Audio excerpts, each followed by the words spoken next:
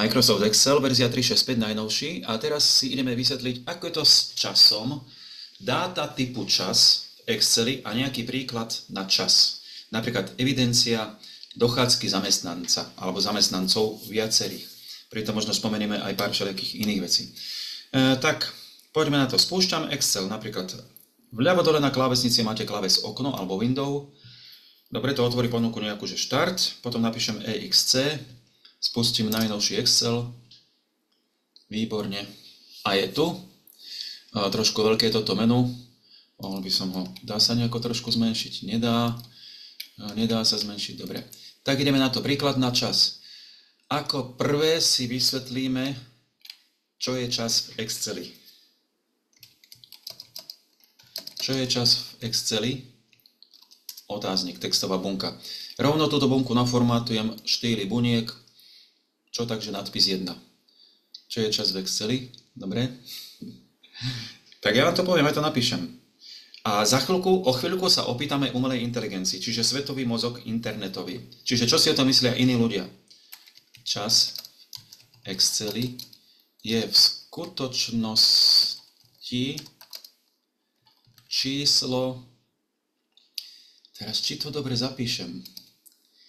Či to dobre zapíšem? Počkajte sú, matematikári vedia, že uh, 0, bodko čiarka 1, čiarka 1, a to by mohlo byť toto takto. Číslo z intervalu 0 až 1, pričom jednotka tam môže patriť, ale nie som si úplne istý, vidíte, ja v tom mám trošku medzery. Čas, číslo, dobre, 1. Naformátované ako formát časový. Dobre? Tak. Čo to znamená, že 0 asi bude, predstavte si, 0 asi bude proste začína deň, polnoc a jednotka bude asi končí deň. No, čas by sa mal rátať od 0 a potom je 50, 24 hodín alebo 23 hodín 59 minút 59,999 nekonečných sekundy a potom je zase 0. Dobre hovorím? No, tak nejako. Dobre. Je to dosť ťažko definovať, takže možno to ešte zistíme, že či tam tá jednotka patrí do toho intervalu alebo nie. Čiže t, to je napríklad, že t je 12.00 je číslo 0,5. Čiže to je, to je čas, 12 je číslo 0,5. A napríklad čas, čas dajme tomu 0600, to je 1 štvrtina dňa, je číslo 0,25 v skutočnosti. Príklady. Pozrite sa, napíšem sem, napíšem 0,25, Enter 0,5, Enter 0,75, Enter 1 a sem dám 0. Dobre, chcem to posunúť trochu nižšie. Môžem aj takto. Pravé tlačítko myši, vložiť, posunúť bunky nadol. Dobre, teraz naformátovať ako čas. Escape, naformátované F2 naformátované ako formát časový, alebo naformátované ako formát čas. Takto. A toto si dáme červeným písmom. Ešte aj počerknuté. Naformátované ako formát čas. Kde? Napríklad v karte číslo. F2 karte číslo, alebo, alebo v menu číslo, ako chcete. Menu číslo. Toto hore je pás kariet a kart, pás kariet domov, že menu domov má karty schránka, písmo, zarovnanie, číslo. Takže v karte čuknem sem, alebo sem dvakrát čuknem na číslo a naformatované v karte číslo a B. Enter. V karte číslo alebo môžete použiť aj pravé tlačidlo myši, naformatovanie v karte číslo, alebo použite, použiť príkaz formát bunky. Napríklad to sa dá spustiť CTRL plus Shift plus 1 pravé tlačidlo myši na bunke. Alebo CTRL Shift 1. Čiže pravé tlačidlo myši a tu je formátovať bunky. Alebo 0, Ctrl Shift jednotka z horného riadku klávesnice a máte to isté. A toto, čo máte tu formát bunieka, že číslo, prvá karta číslo, to je aj tu a dám čas. 0,0, výborne. Čiže označiť do bloku a zvolím čas. A už to tu máte. 6 hodín. On zobrazuje štandardne sekundy. Dobre, tých sa zbavíte za chvíľku. 12, 18 a tu je opäť 0, 0, 0. No a čo urobíme, keď tam nechceme mať toto 0, 0. No, čo keby som zadal toto, že 23, dvojbodka, 59 minút, tam je potom 60-ková sústava, ako keby, že? A 59 sekúnd. Vidíte, že funguje to. Aj tu je to napísané 23, 59, 59. 18. Tu je napísané 18.00. Dobre, keď teraz 18, keď tu na hore tie nuly vymažem, Enter, stále tam tie nuly zostávajú. Čiže je to jednoduché, buď tu vyberáte čas, čiže vyznačiť bunky a tu vyberiete čas, alebo pravé tlačidlo myši, formátovať bunky a tu máte číslo, kategória čas. A čo je výborné tu v tomto čase, tak toto je to gro, čo treba vedieť, tento, toto dialogové okno si treba fakt dobre naštudovať, všetko naštudovať, ak chcete byť dobre v Exceli, dobrý číslo, čas, toto číslo chápte skôr, že dáta. Tam by nemalo byť, že číslo, ale dáta. Chce mať dáta naformátované vo formáte v zobrazení času. Číselné dáta sa zobrazujú ako čas. 0 až 1, 0 je jedna polnoc, jedna je druhá polnoc a všetko medzi tými je deň.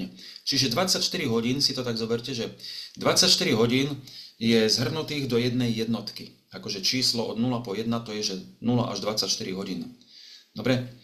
No ale čo je dobre? Tu je čas a tu sú ďalšie také typy alebo podtypy. A tu je hneď, že 13.30. Ťukol som, pozrite sa, tu zobrazuje okožko 00. Čiže keď dáte toto 13.30, výborne, asi tieto, budú tu len minúty a sekundy, eh, hodiny a minúty, toto podľa mňa hodiny, minúty a sekundy zmiznú. Štandard je hodiny, sekundy, minúty hodiny, minúty, sekundy, sekundy zmiznú. A toto PM asi viete, to je ten americký formát, alebo anglicky, že AM je do poludnia, PM je po obede. Dobre?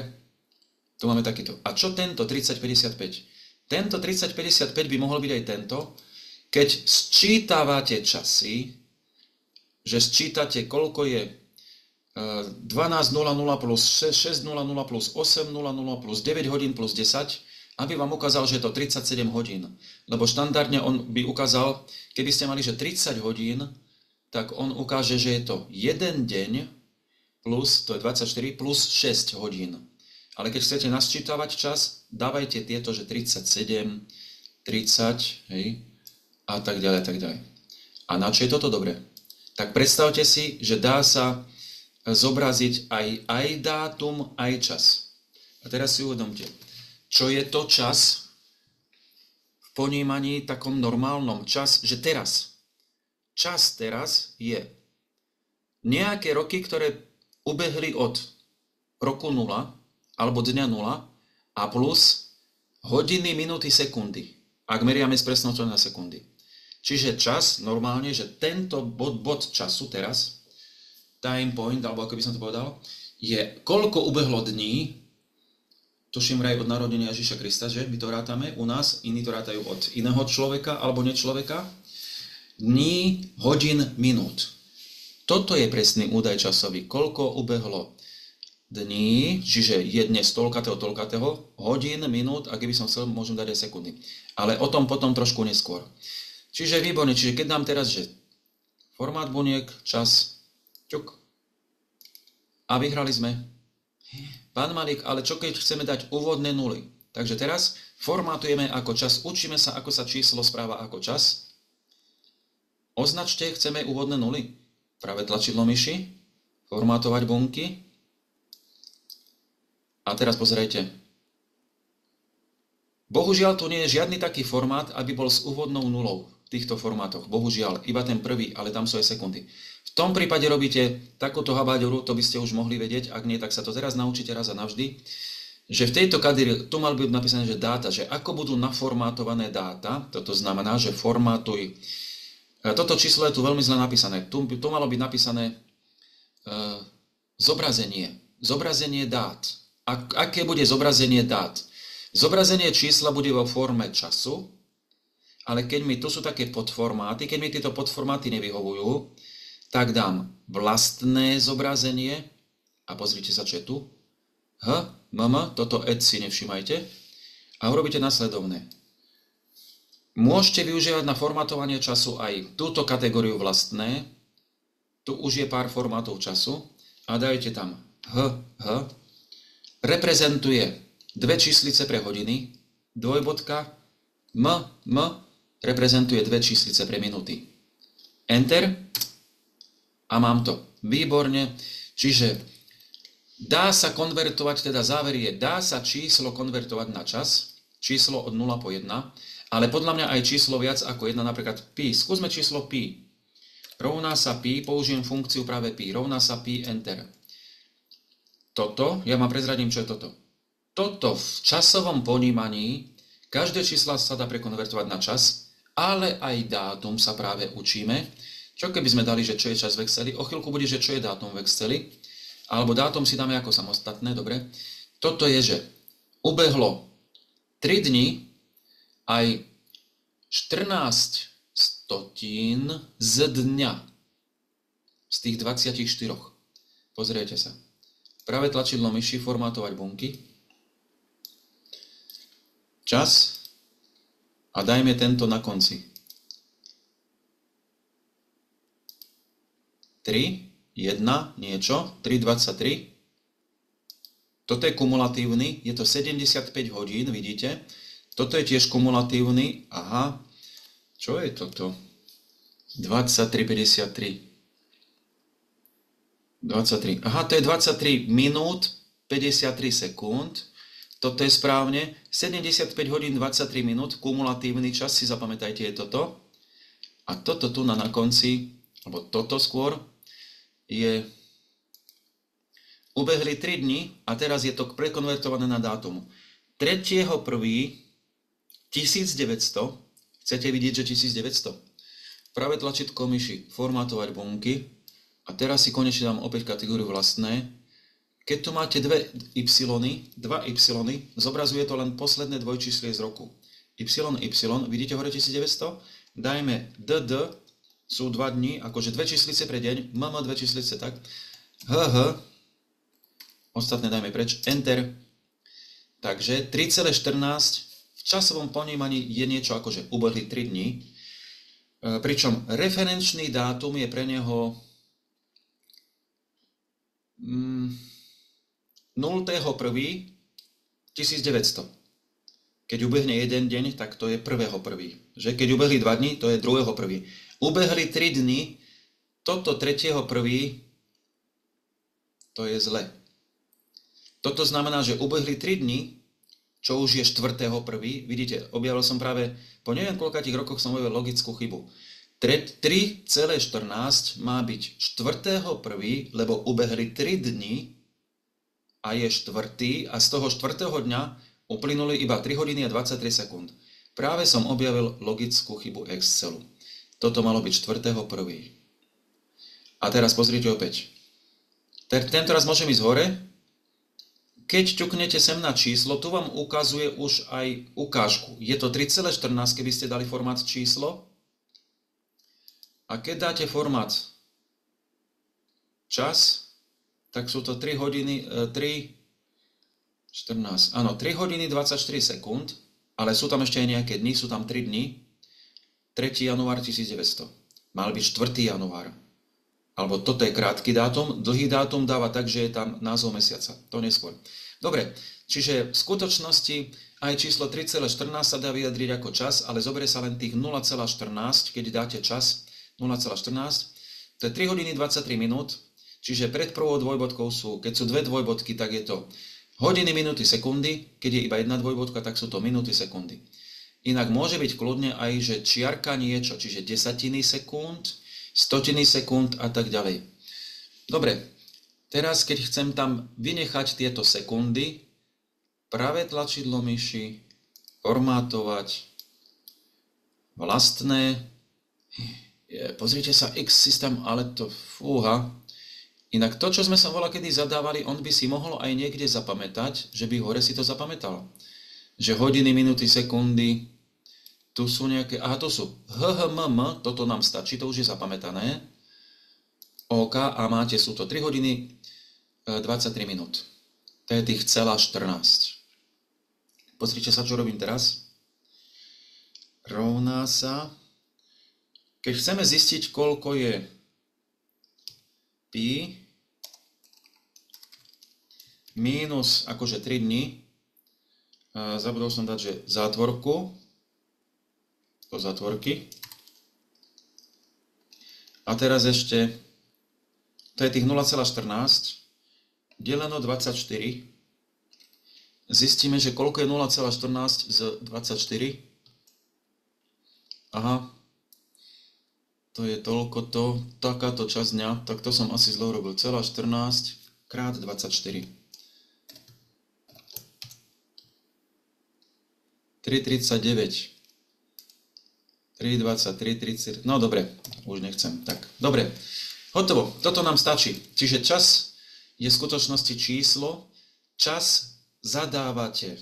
Keď vy píšete čas, jednoznačne ho píšte pomocou dvojbodiek. Dobre? Čiže ešte to podstatné čas sa zapisuje pomocou znaku dvojbodka ťuk, výkričník. Dobre, vo formáte toto môžem takto označiť chytiť za okrajovú čiaru a posunúť sem pomocou dvojbodky, čiže keď teraz je 15.31, 15, dvojbodka 31, enter, výborne. Chcete tam, to sú hodiny, minúty, chcete tam mať aj sekundy. Práve tlačidlo myši, formátovať bunky. Tak, tu na kde je vlastné, dajte dvojbodka SS, sú aj sekundy. A keď dáte čiarka 00, tak to je aj na desatinky a stotinky. Enter. Čiže teraz sa to číta 15 hodín 31 minút 0 sekúnd celá 00. Chcem to dať naspäť. Pravé tlačidlo myši, formátovať bunky, vlastný formát a toto mu dáte preč, hodiny, minuty. Výborne a je to. Tak, to je vlastný formát. Keby ste chceli, chceli mať za tým zapísané hod, práve tlačítko myši, formátovať bunky, alebo len h, h bodka, sem dáte úvodzovky, čiže formát vlastný, hh2.mm, úvodzovky hneď, žiadna medzera úvodzovky, až teraz dáte medzeru, dajme tomu, že h, dvojbodka akože hodiny, minúty. Kto by to takto chcel. Alebo iba, že hod, enter. Takže 15.31 hod. Teraz tento formát, tu je kopírovať formát, nakopírujem aj sem. Tak toto je 0,0 hod, toto je 6 hod a tak ďalej. Výborne, do úvodzoviek, hneď za tým hh, mm. Teraz toto chcem dokonale odstrániť. Aha, záver. Keď som sem dal formát, každá bunka si svoj formát pamätá. Keď stlačíte delete, vymazal som iba obsah, zápis dát, ale nie formát. Čiže keď tam napíšem, dajme tomu, že 0,3, to je 7 hodín 12 minút. Vidíte? ale vy ste chceli 0,3. Čo máte urobiť? Teraz máte urobiť to, že dáte číslo bez špecifického formátu, tak je to 0,3. Fantázia, že? Tak. Alebo ste mali urobiť vymazať z týchto všetkých, že všetky tieto označím, vymazať formátovanie znamená, že sa vymaže nielen ten formát časový a bude z toho číslo, ale vymaže sa aj farba písma, podkladová farba bunky, ohraničenia, to je vymazať formátovanie, vymaže všetko. Tak to sú takéto údaje, čo vidíte práve teraz. No a keď dám vymazať formátovanie. A teraz, keď dám vymazať všetko, tak sa vymaže aj obsah, aj formát. Vymazať všetko mi tu chýba. Tu mi chýba niekde, že by tu niekde mohlo byť, že vymazať všetko, dokonale vymazať bunku, tu nie je. To je veľká, podľa mňa, programátorská chyba. Niekde tu malo byť, že vymazať všetko. Delete totiž vymaže iba obsah. Príkaz vymazať všetko vymaže aj formát, všetko. Tak, takto to s časom, to bola taká malá teória. Čiže dole som dvojklikom otvoril názov v hárku a že čo je to čas v Exceli. Otáznik, otáznik, vidíte, otáznik tam ani nejde. Otáznik je zakázaný znak. Enter. Dobre, a teraz tu na vytvorím plus nový hárok. A konečne ideme, že príklad na čas. Ale príklad na čas, dobre, príklad na čas, enter. Chcel som otvoriť najprv taký, najprv otvorím taký zlý príklad na čas. Dobre, takže zlý príklad na čas je nasledovný. Jedna dáma to posielala ako záverečnú prácu. Pozrite sa tu na príklad na čas, zlý, .xls. Už prvé mi hovorí, že .xls, že to bolo robené v starej verzii Excelu. Dúfam, že mi to otvorí nový Excel, keď to otvorím. Čiže najprv to skonvertujem do novej verzie Excelu ako otvoriť. Vidíte, tu je, že príklad na čas zlý XLS kompatibilný režim. A teraz dajte F12 je uložiť ako? Kto to ešte nepozná? F12 F12 štýly buniek je uložiť ako? Zapamätať si. No kto chce, môže robiť do kolečka súbor a uložiť ako? ak chcete. Ale ja robím, čiže teraz to uložím najprv do nového formátu, aby to bolo XLSX a potom sa s tým budeme hrať. Čiže F12, teraz je ten príklad na čas. Tu dole uložiť vo formáte nie starého Excelu, ale zošit programu Excel v zátvorke XLSX. Ťuk. Výborne, čiže bude to príklad na čas zlý XLSX. Uložiť. Je hore XLSX? Áno a ten starý súbor sa nám zatvoril. Výborne. Tak, máme. Tento príklad je evidencia dochádzky. Najprv prvé, čo sa mi nepáči, dobre, tu je napísané, že dochádzka, tu je obdobie, tu je zamestnanec. Čo keby sme všetky tieto čísla zmenili na klasika, že Arial, nie Arial, Kalibri, tuším Kalibri, Kalibri býva písmo základné. Takto vľavo kde je ten trojuholníček, označíte celý hárok a hľadajme, ťuknem do CA, Calibri Light alebo Calibri. Calibri. Je to všetko Calibri, že? A keď dám Calibri Light, môže byť Calibri Light, je tuším predovolené písmo, tak toto je Calibri Light. Ďalej sa mi nepáči, toto je ťažko viditeľné. Označím, čo keby som tam dal biele písmo. A čo keby som mu dal o maličko väčšie? A ešte aj B. No hneď je to lepšie viditeľné, len teraz by som musel niektoré stĺpce porozširovať, napríklad tieto dva označiť do bloku, rozšíriť. Prestávka na jedenie a oddych je dobrý, lekárske dobre. Čas, zastupovanie. Takže rozšírim, dajme tomu riadok 6. Toto je zlúčená bunka, tri bunky zlúčené sú tu na. Zlúčené bunky, takto ich rozdelíte, že zlúčené bunky zoskupené, zlúčené, tak. Dobre, tak to by to aj mohlo byť.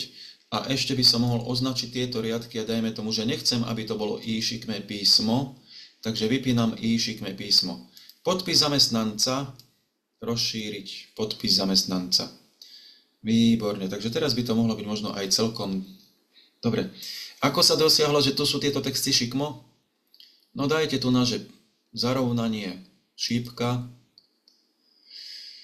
Smer textu. Tu. Orientácia. Klasika má byť takto. A niekto to dal takto. O 90 stupňov. Dobre? Takže je to v zarovnaní. Nie, či, nie písmo, ale v zarovnaní. Orientácia textu o 90 stupňov. Dá sa. Plus tieto bunky sú zlúčiť a centrovať. Práve som ich rozdielil a teraz ich zlúčim. Výborne. Tak, to len toľko, že takto sa robí to záhlavie. Ctrl S uložiť. F12 je teda uložiť ako označiť, pozrite sa, zlúčiť, je to zlúčené, vidíte? A ešte aj vycentrované. Dobre, ideme ďalej. Tak, tu máme dni, dajme tomu, že tieto dni označím a chcel by som ich mať trošku točnejším písmom. To je tuším september, Ctrl B, že september má iba tu je obdobie september, vidíte, dám tam Ctrl B, ten má vraj len 30 dní. Ja by som to nechal tak, či tak 31, lebo robím to pre každý, pre každý mesiac, to dajme tomu robím. Dobre, september je takto, ja by som to robil jemne inak, potom si možno urobíme iný príklad.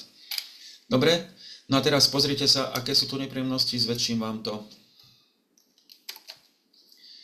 Základný pracovný čas je tu a tu je prerušenie, prestávka 1, prestávka 2 a tu je suma prestávok. Tak, čo je zle? No zle za zadané časy. Vidíte tú dvojbodku? Toto je zrejme 7.00. Zle. Označíte, napíšete 7, dvojbodka 00, Ctrl Enter, znamená, že tento údaj sa zapíše do celej vyplnenej oblasti. Ešte raz, hromadné vpisovanie dá do bunky. Vybrať oblasť myšou alebo akokoľvek inak, napísať údaj a CTRL Enter, nie len Enter. 0,29 mhm. a teraz dáte čas. Dobre? No dobre, ale nechceme tam mať sekundičky, čiže pravé tlačidlo myši, formátovať bunky, číslo vlastné, napíšte mu označiť hh, dvojbodka, mm, enter, výborne. A ešte to mohlo byť aj centrované, že? Chceme to mať všetko centrované, čo vy na to? Chceme to mať všetko centrované. Tak všetko centrované označiť od osmičky, na osmičke ťaháte dole, takto, vypnúť a ešte raz zapnúť a máme to centrované. 7.00 a teraz No a toto je problém. 14.30, 13.30. Proste všetko to treba poupravať s tými dvojbodkami. Nedá sa to nejako hromadne. Čiže nie 14,3, ale 14, dvojbodka 30. A teraz môžete táto bunka kopírovať formát do tejto. No a teraz túto bunku 14.30 dajte, že Ctrl-C kopírovať, sem Ctrl-V, všade, kde je 14.30, Ctrl-V, Ctrl-V, nájdete si 14.30, Ctrl V, Ctrl V, Ctrl V, Ctrl V, Ctrl V. Opravil som 14.30, hej. 13.30. Môžem urobiť aj toto, že aj sem dám, že Ctrl V a teraz napíšem Escape teraz, to som nechcel. 13, dvojbodka 30, Ctrl Enter. Dobre, tu je tiež 3x1330, čiže kopírovať a sem Ctrl V. 13.30, 3 krát mám aj tu Ctrl V, to sa akože opakuje všade, viete. Výborne. Escape to tam nechcem, sa mi tam pletie. A 13, 14.30 je dobre. To mám všade 12.20, čiže výborne, čiže 12 dvojbodka 20 to malo byť takto. Tento formát 14.30 kopírujem, dajme tomu sem, Ctrl C, označiť, Ctrl V. Označím, že tieto Ctrl C, sem Ctrl V, sem Ctrl V, čiže opravujem zlý príklad, sem Ctrl V a Ctrl C, Ctrl V. Za chvíľku to máme, nebojte sa. Toto sú vstupné dáta, čo sem píšem, toto sú vstupné dáta. Vstupné dáta, dobre, urobím to len tu, označím, ja s radosťou označujem, že, že zelenou farbou sú, dajme tomu, vstupné dáta. Dobre, zelená farba sú vstupné dáta. Ešte 12.50. 12, dvojbodka 50, Enter. E, formát tento časový, kopírovať metlička sem označiť Ctrl D je kopírovať prvú bunku dole. Down, keď označíte oblasť, Ctrl D, to máte tu, že vyplniť a nadol. Ctrl D je kopírovať smerom dole, Ctrl D. Výborne, Ctrl C, Ctrl V, Ctrl V, Ctrl V. A ešte toto samostatne Ctrl C, Ctrl V. Dobre, a ešte som chcel tieto, aby mali ten zelený formát. Označiť F4 Exceli je vykonaj poslednú akciu opäť. Posledná akcia bola zelená farba písma. Označiť F4, učíte sa nové veci, že? Označiť F4. Čiže Ctrl Home je chod na začiatok, takže dajme tomu, že túto bunku, e, takto robím, že kopírovať sem, dajme tomu Ctrl V, toto odstránim, práve tlačidlo myši, odstrániť, ostatné posunúť smerom tie, čo boli vpravo doľava. F12 je uložiť ako, F4 e, vykonať poslednú akciu znovu. Poslednú akciu znovu. Akciu. Akciu znovu. Dobre, len toto je stále zlučené. Skúsme to radšej takto, že zruším to, dám to takto radšej, formát tejto bunky kopírovať do tejto bunky. Veď formát tejto kopíruj do tejto výborne. Toto, čo je tu, pravým tlačidlom odstránim. klik. Dobre. Tieto stĺpčeky tu nepotrebujem, pravým tlačidlom odstrániť. Dobre, čiže tu, tu sú také akože možno novinky pre vás. Výborne. A máme to. Lekárske ošetrenie. Formát týchto buniek ďalej treba nakopírovať do týchto prázdnych. Formátovať do týchto. Predpokladáme, že sobotu, nedelu sa nerobí. Ešte. Keď ťuknem dvakrát, toto tlačidlo zostane zatlačené stále a teraz, že sem, sem, sem formát buniek a teraz raz kliknem a teraz formát týchto dvoch kopírovať sem, čiže aj tieto majú ten istý formát. Čiže keby som aj sem niečo vpisoval, že ošetrenie je od 10.00 do 11.00, tak som dal takto. Tak výborne, dáta máme. No. A tu sú vzorce suma prerušení, tu, prerušenie spolu by som sa mal napísať, a suma čas na pracovisku. Čas na pracovisku. Ako toto sa chápe, že, že bol som iba 7,5 hodiny na pracovisku a plus som mal pol hodiny prerušení. Navyše, áno, keď to zrátam, tak to je akože tak celkovo. Čiže čas na pracovisku, čistý čas na pracovisku. Tak sa to chápe, že? Mhm. No a toto je tiež zle. Dotyčná dáma, dobre, sem dala zvláštne vzorce, že ak suma D 9 minus E9, if sum, akože veľmi zle, strašne zle, takže toto všetko označiť, delete. Práca doma, toto je tiež zle, celkový čas tiež označiť a delete. Delete. Toto modré majú byť vzorce. Práca doma, tiež zle. 50 minút. Je 0,02.50. Toto je 50 minút. Formátovať ako čas, urobíme to takto, že formát tejto bunky kopírovať do tejto bunky. Toto je, toto je tiež 50 minút, čiže Ctrl C, Ctrl V toto je 2, 2.00, Enter.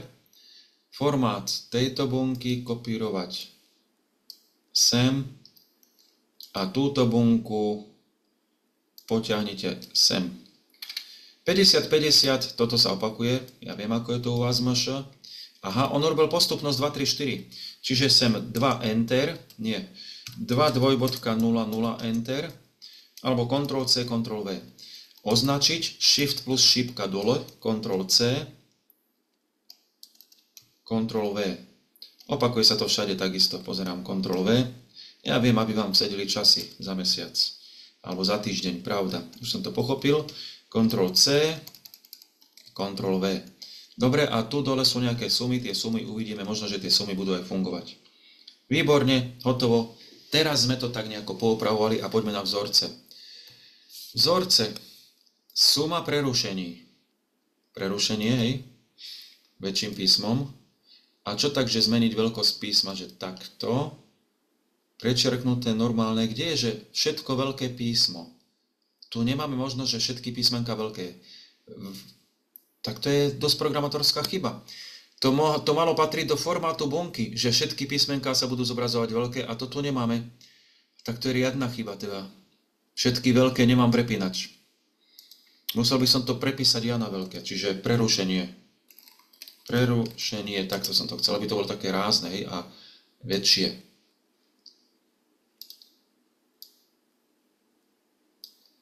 Tak, prerušenie a ešte pozrite sa, označte takto a dajte tomu hrubé orámovanie. Vidíte, teraz sú tam hrubšie čary, že toto je prerušenie, toto je základný pracovný čas, F4. Dobre? A tak, no proste to treba tak trošku, viete, odlišovať, že čo je čo hrubším oramovaním. Môžeme ísť na to. Konečné vzorce, prerušenie. Suma prerušení. Od do, od do. Ako toto vypočítate? Kto mi vie povedať? Suma prerušení. Od do. Sú dve prerušenia možné. Od do, od do. Suma prerušení bude teda čo? Chce sa niektorá z vás prihlásiť? Kto ma teraz pozerá, vidí? Nikto sa nehlási, že čo bude suma prerušení. Podľa mňa bude takéto jednoduché. Rovná sa. Skúsme teraz výber bunky do vzorca, výber adresy bunky myšičkou.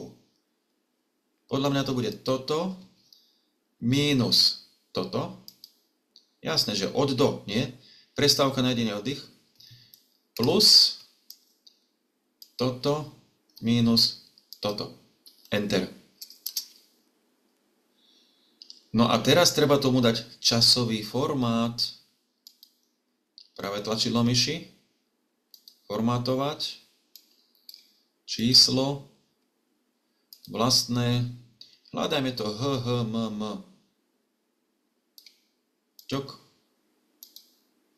1 hodina 30. Tu je 30, sek- 30 minút.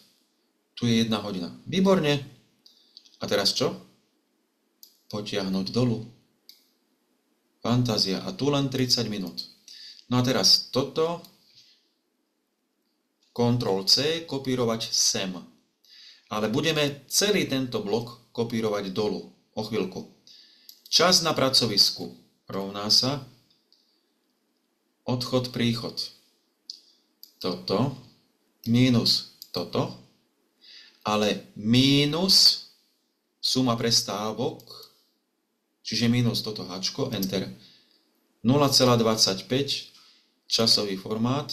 To môžem túto bunku kopírovať formát do tejto.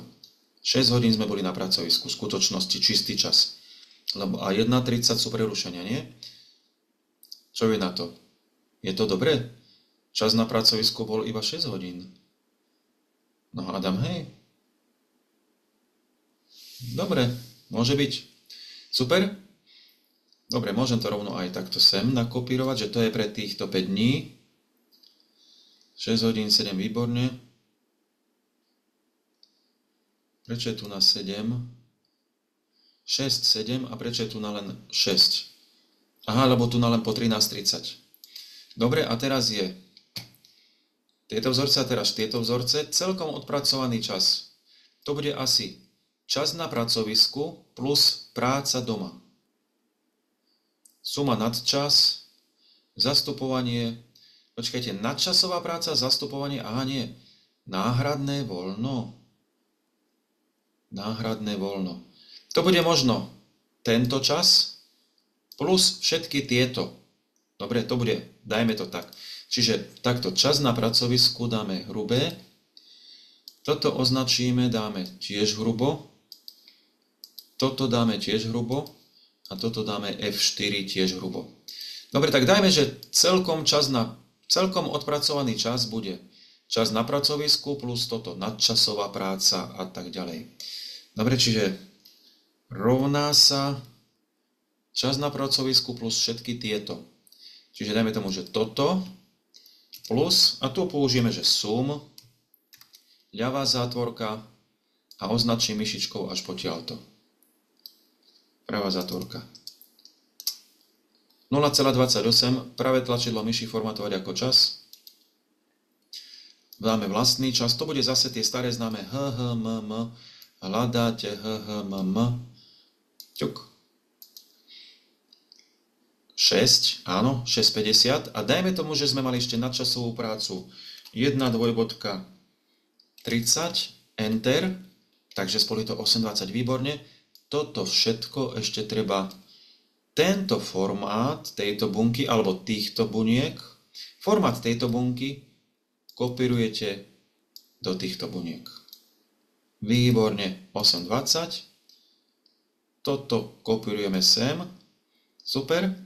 No a teraz tieto bunky plus CTRL a ťahám myšou sem, že či sa dajú dva bloky, pomocou CTRL robíte dva bloky, tieto, Ctrl C kopírovať sem, Ctrl V. Nejde to, vidíte? Tu je chyba Excelu trošku. Čiže Ctrl Z, Ctrl Z cross a tu na je 3.0. 3 hodiny na časovú prácu mali, vidíte? Takže 3.0, treba zapísať 3 dvojbodka 0.0 a ešte formátovať ako čas, čiže to môžem, vlastne takto to má robiť, že formát tejto bunky kopírovať do všetkých týchto. Opäť formát tejto kopírovať do všetkých týchto, lenže 3, treba zapísať 3 dvojbodka 00, tam sme robili 3 hodiny a ešte formát tejto bunky kopírovať do všetkých týchto. Čiže s tými formátmi to nie je také jednoduché. No a teraz už len tieto vzorce, Ctrl C, sem Ctrl V. A tu je aký problém? rozšíriť, rozšíriť, ešte raz, neviem, čo je tu napísané, pozrite sa, záporné alebo príliš veľké dátumy. Aha, 7, 7 čiarka, to má byť. 7.00 sme zabudli kopírovať, sem, Ctrl V, jasné, žiadna čiarka, Ctrl V, Ctrl V, a ešte toto Ctrl C, Ctrl V. Ctrl Home je chod na začiatok, dvojklikom prispôsobiť, alebo to takto, že zúžim úplne. Tak, výborne. Dochádzka, toto je taká veľmi zlúčená bunka. Vidíte dochádzka? Čo keby som to rovno naformátoval tú dochádzku? Čo ja viem, ako Dajme tomu takto dochádzka a ešte väčšie písmo. Dobre, a ešte dám, že hrubé oramovanie, dochádzka. Dobre, máme a sme kopírovali vzorce. Tieto vzorce, Ctrl C, šípka dole na klávesnici, Ctrl V, Ctrl V, označiť dva vzorčeky, Ctrl C, sem Ctrl V. A ešte to isté treba aj tu nahore urobiť, vpravo. Označiť Shift a šípka dole, na klavesnici Shift so šípkou dole, Ctrl C, Ctrl V, Ctrl V, šípka dole, Ctrl V, no a teraz už len jeden, Ctrl C, nie 5, ale jeden, Ctrl C, Ctrl V, výborne. Tak, a základné vzorce sú hotové a teraz je to poopravované. Konečne. A vyriešiť na spodku sumy, dajme tomu, že rekapitulácia zatiaľ nechceme, vyriešiť na spodku sumy tieto. Že tu je, že celkom, dajme, že zľava, celkom. E, opäť tu dáme, dajme tomu, biele písmo. No a tu treba časový formát. Celkom. Označiť. A prečo nie sú tu na aj Aha, tu sú časy príchodu, to sú vstupné dáta a tu sú nejaké aj tieto, toto sú, toto sú už hodiny nadčasová práca. Tu je od do, od do a tieto všetky môžeme sčítavať. Čiže označiť, nie, vzorce. Rovná sa sum H7 až H37. H37 je dobre, čiže asi zosumovať časy. A od H7, H7 od 9. H9 mi stačí. No H8, H8. Čiže H8, H37 je dobre, čiže suma je v poriadku. Dobre, viete čo, robíme to takto, že dajme tam radšej taký jednoduchší formát, štýl buniek, takýto slabo šedý, pričom dáme B, tučné písmo a trošku väčšie. Dobre? Tak. Že toto je celkom a ešte tomu môžem dať aj tučné oramovanie. Celkom je toto. Také trošku šedé, no. Šedé sa mi nepáči, takže dajme oranžové B väčšie. Dobre, oranžové je sumar. Dobre, vzorec sa zdá byť v poriadku, aj tento sum I, aj tento je sum je, takže len dať tomu správne formáty, práve tlačidlo myši, formátovať bunky. A tu pozor, tu dáte čas. A to musí byť ten kumulatívny. Tento 37 hodiny, minúty, sekundy. Vlastné. Čiže keď sú hodiny v takýchto zátvorkách, to je asi kumulatívny čas hodiny. Dajme tam, že HH, malé H. Čiže v tých zátvorkách to sa kumuluje a sekundy nepotrebujeme. Enter. Čiže celková doba prerušení bola 11 hodín 30 minút, celková doba bez prerušení 134, jednotlivé hodiny nadčasy a tak ďalej. A tu... Pán Malík, ešte máme tam nadčasy a tam je ešte jeden údaj, ktorý nie je zmenený. Ktorý? Uh, Tento. Tam Áno, ten, ten. A to nám robí problémy, áno. Čiže táto bunka 3, 0, Ctrl C a sem Ctrl V stačí. Výborne. Čiže a hurá, toto 176 je asi podstatné, takže to dáme, dajme tomu červenou farbou a veľké písmo. Daný zamestn... takto. Keď sú tam tieto mriežky, trošku rozšíriť, lebo príliš veľké číslo, čiže zamestnanec odpracoval za daný mesiac 176 hodín 0 minút. Tak toto je asi taký celkový výsledok. Toto je jeho odpracované, že za september 2024. Výborne, takže teraz by to hádam, konečne mohlo byť všetko v poriadku. 176, výborne. A to sú jednotlivé prerušenia. A teraz pozerajte, ak, ešte aké harakiri. Urobíme dochádzka obdobie. Ja to jemne zmením, že obdobie september dám, zoberiem takto okraj a dám to sem a zamestnanec zoberiem okraj a dám, dajme tomu, že dám, dajme tomu sem doprava a túto bunku označím až sem, že podpis, zlúčiť a centrovať to najprv rozdelí a zlúčiť a centrovať to spojí aj s tou poslednou bunkou a tieto prvé dva riadky odstránim ako? Do bloku, práve tlačidlo myši odstrániť. Tak. A ešte jedno harakiri urobím takéto. Kliknem do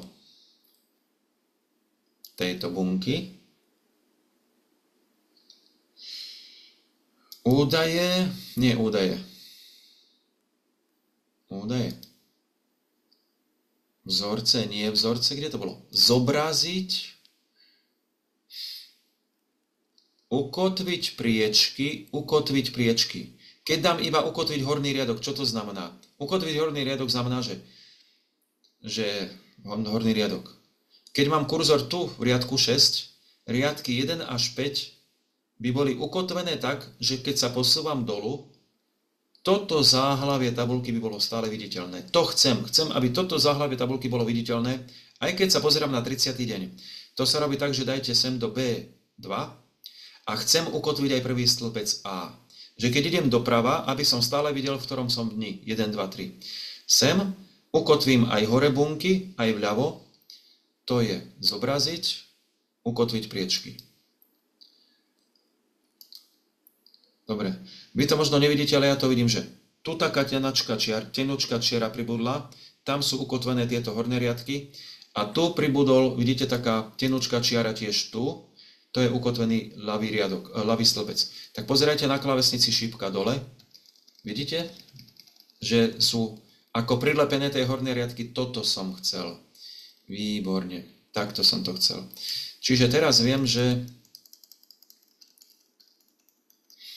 celková nadčasová práca bola 10 hodín 30 minút, zastupovanie 0, suma nadčasov 10.30, áno, suma nadčasov 10.30, tu je niečo zle, akých 10.30? Tam je J až K. Je až K, je až K, je suma nadčasov. Aha, nadčasová a zastupovanie. Suma nadčasov. Mhm, už som to pochopil, suma nadčasov. Náhradné voľno je MM, výborne. A celkom odpracovaný čas je OO. To je v poriadku. To je len tento slepšok. Výborne. Hotovo. Takže suma nadčasov je nadčasová práca plus zastupovanie. Čiže to, to bolo dobre tiež tu na nejako rozlišiť, že takto dať do bloku domov a hrubá čiara okolo a možno aj tu by som mal dať také hrubé čiary, že aby sme vedeli, že čo je čo, trošku nejako rozlišiť, viete. Suma nad čas. Počkajte, keď suma nad čas, tak tu mal byť vzorec. Suma nad čas. Tu mal byť vzorec. Náhradné voľno. Tu mal byť vzorec, rovná sa sumuj tieto dve bunky. Rovná sa, tak to malo byť, to je lepšie, rovná sa táto bunka plus táto, kliknutím myši Enter, výborne, 1.30, kopírovať sem, 0.0 je suma nadčasov a toto malo byť taký iný formát, tak, také podfarbenie bunky, mm, svetlo modré a to má byť farba písma klasická čierna. Automaticky. Suma nadčasov, jasné. Ctrl C, Ctrl V, toto sú vzorce suma nadčasov, Ctrl V, Ctrl V, Ctrl C, Ctrl V, suma nadčasov. No a potom celkom odprac, ešte aj náhradné voľno som si čerpal. Náhradné voľno, čo ja viem a práca doma. Dobre. Potom tento vzorec by mal byť teda, že I7 plus toto plus toto plus toto, no dajme tomu, dobre, i7 plus suma nadčasov plus náhradné voľno plus práca doma dám ako, lebo neviem tu ťuknúť myšičkou. N 2, N7 plus N7 Enter. Takto to má byť. Kopírovať dolu. Ctrl C, Ctrl V, Ctrl V, Ctrl V. Ale keď ano? som čítala náhradné voľno, to nemá byť mínus?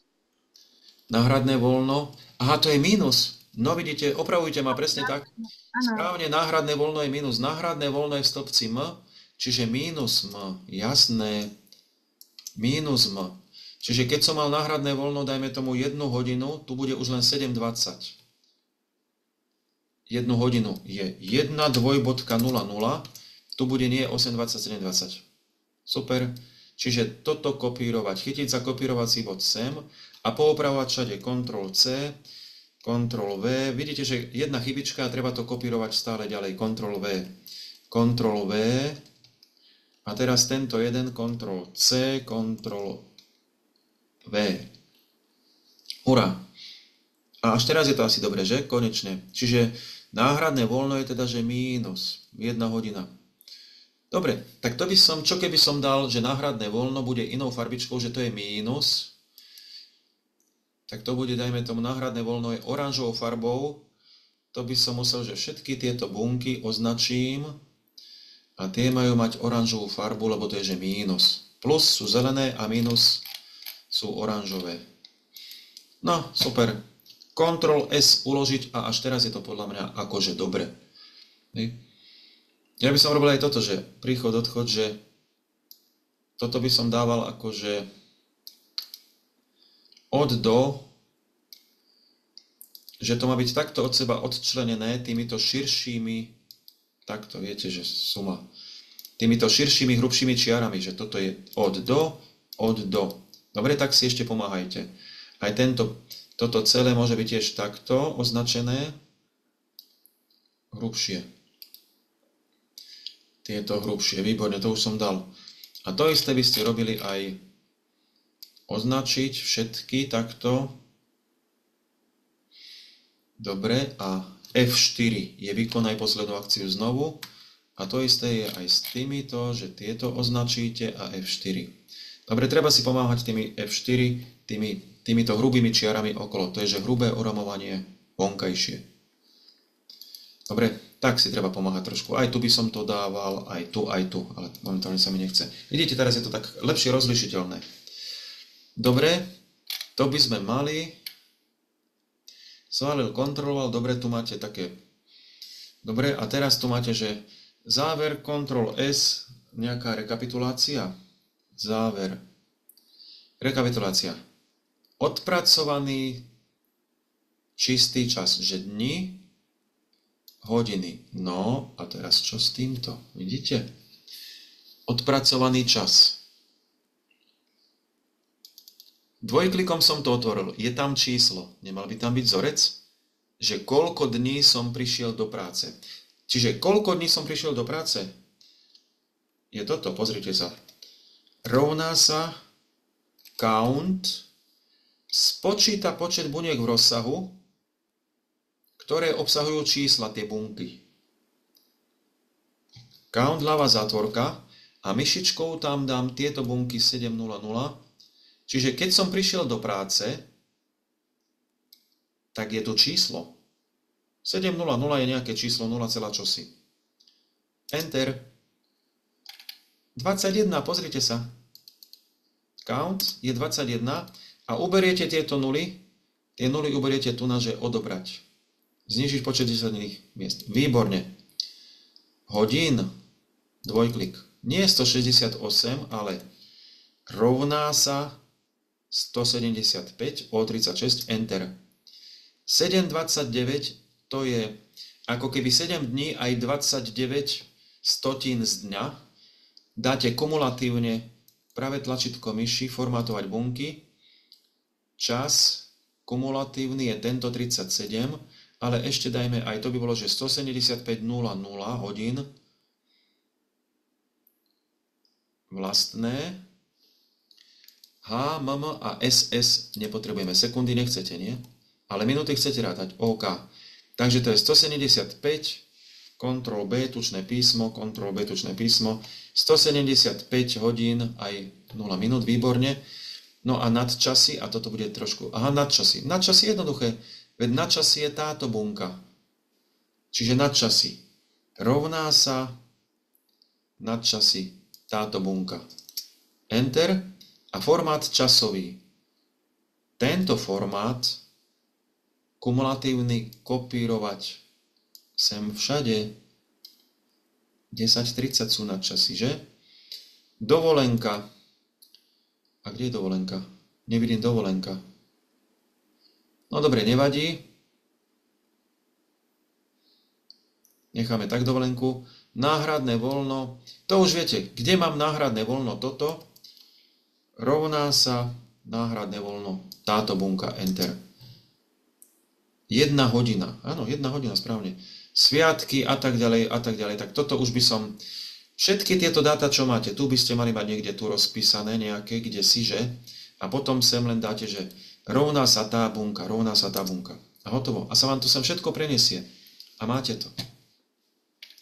Ono sa to dá ešte aj niekedy trošku inak robiť, dobre. Na táto dáma ešte urobili také, že grafy odpracovaný čas, lomeno čistý čas, odpracovaný čistý, aha, nechápem, že čo je akože čistý čas, čistý, čistý odpracovaný asi tu, že na pracovisku, že? Dobre, grafmi sa teraz nebudeme zaoberať, no ale akože teraz je to konečne hotové, ten príklad na čas. Dobre, takže takto tu funguje s tým časom. Tak, hotovo. Príklad na čas je podľa mňa hotový, čiže ja som len opravil nejaký starší príklad na čas. Z tohto, rekapitulácia, záver, si odnesiete následovné. Američania tomu hovoria, že exit ticket, odchádzate pomaly z triedy, alebo končíme nejaké učové exit ticket, výstupný listok, že buď vysvetľujem žiakom niečo na záver, že čo ste si, žiaci majú na listoček alebo niekam zapísať, napríklad včera som preberal aplikácie, také, existuje aplikácia aj Sokratiu na testy, aj Kahoot, aj tam sa dá tzv. exit ticket, taká, také zbieranie názorov, že čo ste si zapamätali z tejto hodiny, tak z tejto hodiny ste si mali zapamätať, že existuje hrubé oramovanie okolo, že tu, kde dáte číslo, toto je číslo, zlý názov, to je formát bunky, tu sa formátujú bunky, že to sú rôzne kategórie, že keď dáte všeobecné, tak to je bez špecifických týchto formátov, ale keď dáte čas, číslo sa zmení na časové zobrazenie, keď dáte dátum, číslo sa zmení na dátumové zobrazenie a že tu máte ďalšie formáty čísiel, kde máme čas. A naučili sme sa, že čas je v skutočnosti číslo od 0 po 1 naformátované týmto príkazom čas ako jeden z týchto časov, alebo príkazom vlastné dáte hh dvojbodka mm, daný čas sa zobrazí hodiny dvojbodka minuty, keď dáte dvojbodka SS, dané číslo sa zobrazí ešte aj so sekundami. A keď dáte čiarka 00, tak sa budú zobrazovať ešte desatinky a tisícinky, čiže keď meriate čas na stovku alebo na 60 metrov, tak v tom prípade by ste dali toto. SS čiarka 00, čiže sekundy a čiarka desatinky a stotinky. Dobre? Takže toto treba vedieť, že čas je v skutočnosti číslo medzi 0 až 1, ale môže byť aj viac, môže byť aj 25 hodín 26, naformátované ako čas. A naučili sme sa, ešte aj to bolo pri týchto kumulatívnych časoch, 175 a všetky tieto, čo sú tu, majú, no, vidíte, toto mi hneď zobrazí dialogové okienko, formát buniek, táto šipka, majú vlastný formát. Toto, keď dáte hodiny do týchto zvláštnych zátvorek, to je tzv. kumulatívny formát, tieto zátvorky sa dajú dať aj cez pravé tlačítko myši na klávesnici a sú, pozerám, že kde sú na klávesnici. Na mojej klávesnici tieto zátvorky sú na písmenkách F a G. Ja ich mám nakreslené na písmenkách F a G. Pravé tlačidlo myši F, G. Hej, to je kumulatívny čas, že sa hodiny sčítavajú dokopy. Inak by to bolo, že 25 hodín by sa zobrazilo ako jedna hodina. Hej, 25. Ale keď dáte do zatvoriek, tak sa to sčítava. Dobre. Tak, ešte kumulatívny čas. Takže veľký pozor na ten formát. No a myslím, že to je všetko. Časy sa dajú odrátavať, že mínus a sčítavať plus, lebo časy sú len čísla od 0 a 1, od 0 po 1, len sa zobrazujú ako časy pomocou dvojbodky pred dvojbodkou budú hodiny, za dvojbodkou minuty. Ak je použitá aj druhá dvojbodka, tak za druhou dvojbodkou sú sekundy. Dobre? Čiže to je len formát. Čas je nastavený formát časový. Číslo, ktoré sa zobrazuje ako čas a vy môžete kľudne týchto 700 dať všeobecné a je to 0,2917, to je číslo. A teraz, keď dám naspäť ten formát časový, alebo dám radšej krok späť, tak je to naspäť čas. Dobre, čo som chcel ešte s časmi, sčítanie, odčítanie časov funguje, čas je číslo a záver, keď napíšem, záver vám, pozrite sa, čo ukážem, záver.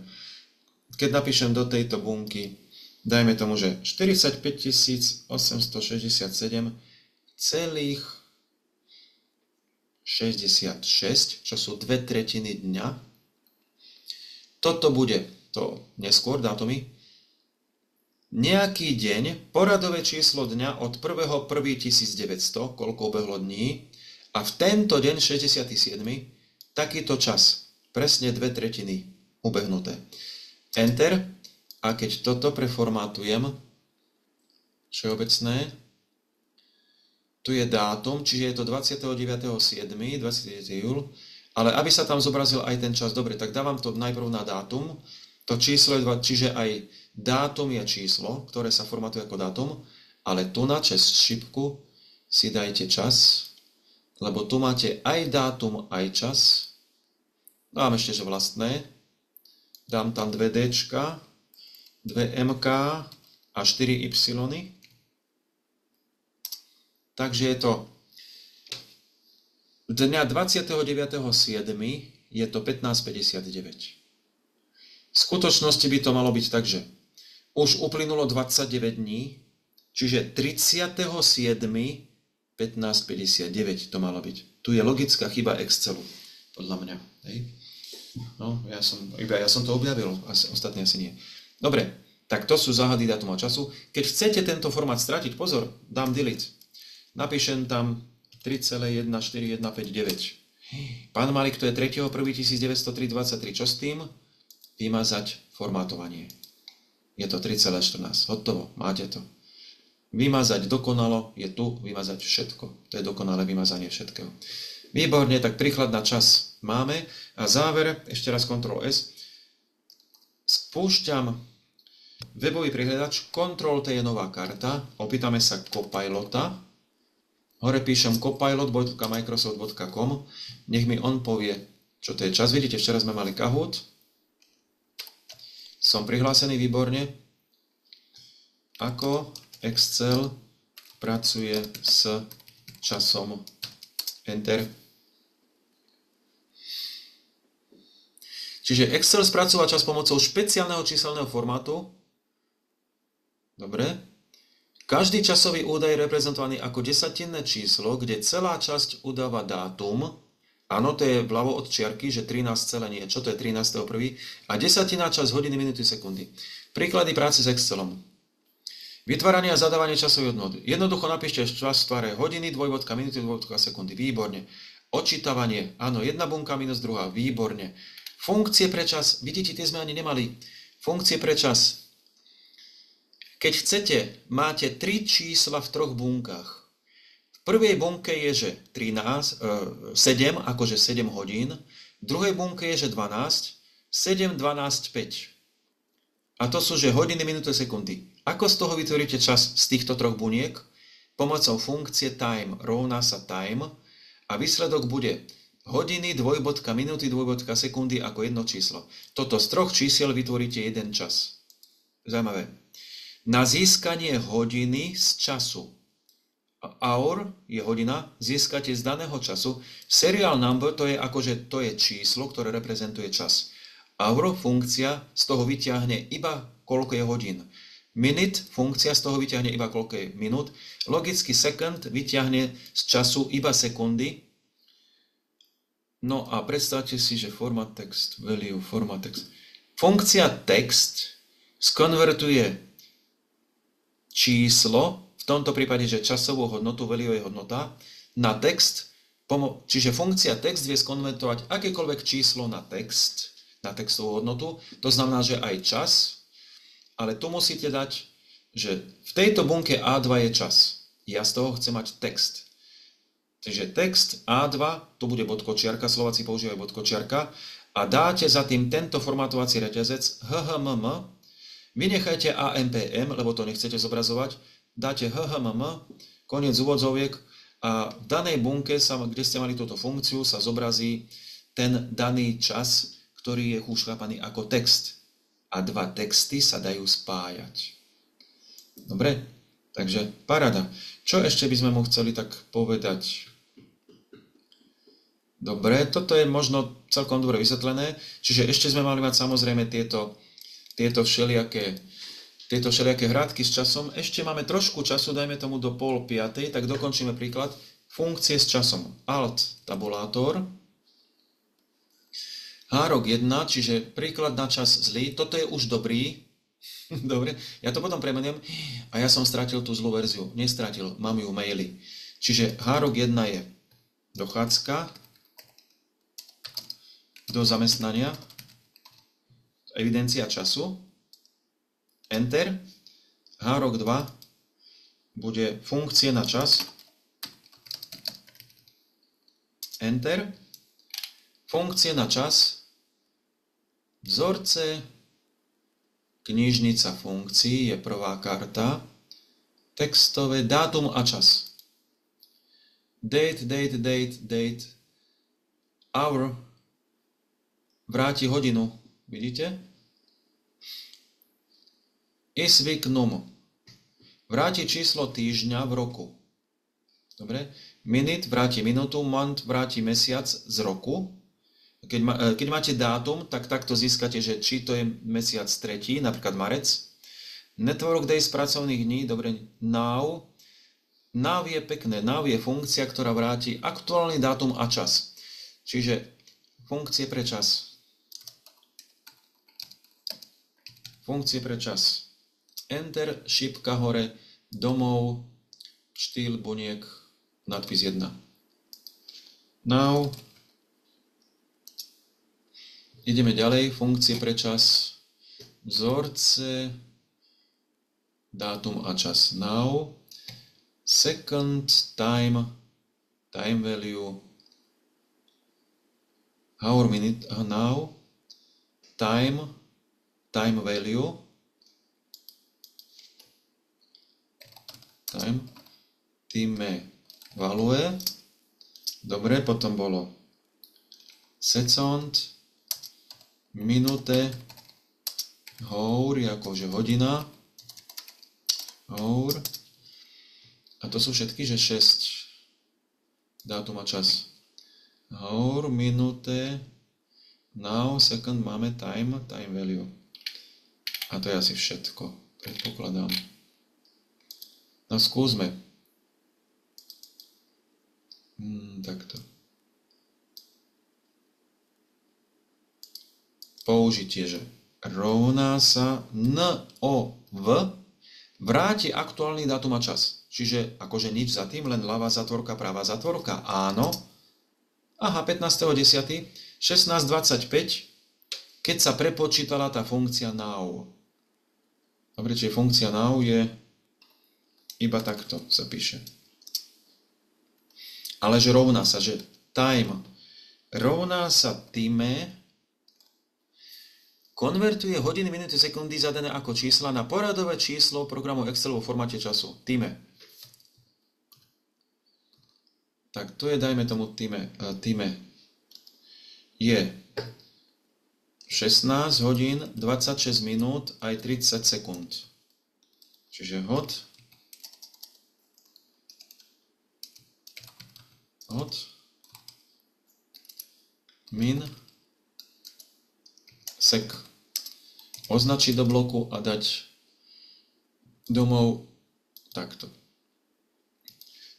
Rovná sa týme ľavá zátvorka.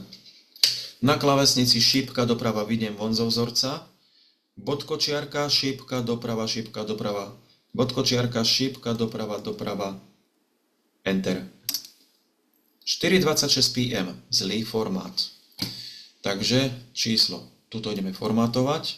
Žiadne PM, my chceme iba HHMM, je 16.26.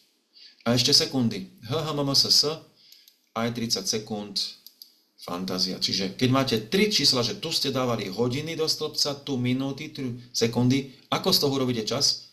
Príkazom time. Dobre? Time value je čo? rovná sa týme val tabulátor text času. Aha, že by to skonvertovalo textovú hodnotu na časovú. Hmm, no pozrite sa, ako to robíme. Táto bunka, vieme ju naformátovať na text. To je tu. Napíšem 16, 2.26, Enter. Keďže to zostalo zarovnané vľavo, je to chápané ako text. Keby to išlo doprava, je to čas. Rovná sa týme v tabulátor tento text, enter. Je to čas, lebo je to číslo. Ešte to musím naformátovať tu na vlastný formát HHMM, kde máme HHMM, je to čas. Toto je text, toto je čas. To je zvláštne, že? Second. Second now. Pozrite sa, rovná sa sec, seco, seco. Vráti sekundu z času. Tabulátor z času, dajme tomu now, teraz. Takto. 58 sekúnd. Výborne.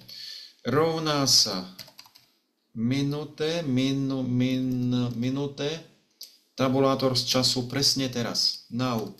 Pravá zatvorka. 29, čiže už je, nie je 26, už je 29 minút, vidíte? Dobre. A ešte rovná sa hour, ľavá zatvorka z času now je, now je, že teraz v angličtine, že? Hodín.